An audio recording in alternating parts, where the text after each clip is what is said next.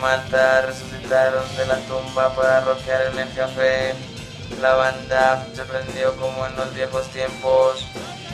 Todo empezó porque un amigo de nosotros, agitador, empezó así como que de alborotarse, ¿no?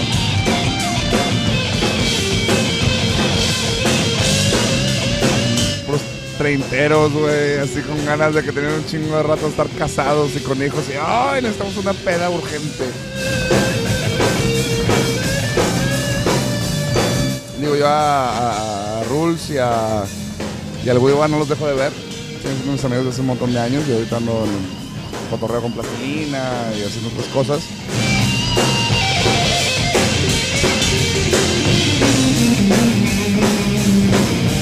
Pero siempre terminamos los lunes juntos, el, este cabrón y, el Wiwas, y haciendo carne asada y todo. Entonces fue de que, güey, ¿por qué no volver a tocar un ratito, no?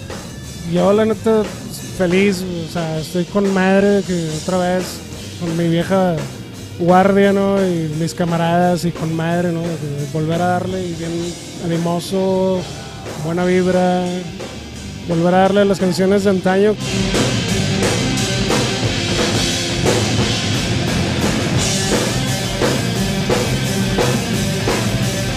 Pues yo creo que fue un montón de sub bajas, ¿no?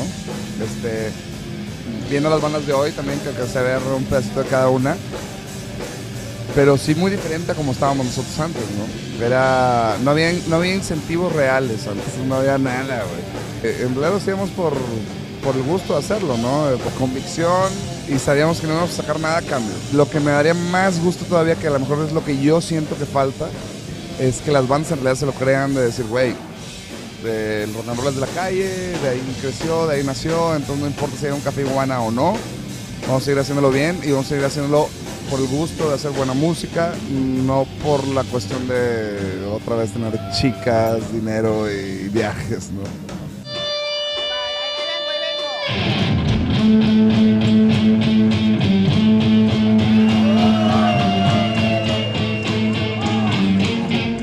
Les puedo decir? De lo que he oído por ahí, oigan a Los Mono, oigan a Pánico Ramírez y, y oigan, sí, oigan el disco nuevo de La Plastilina, y los amigos invisibles también andan dando guerra, cabrón, que nos topamos ahora en Ecuador y esto un poca madre, ¿no?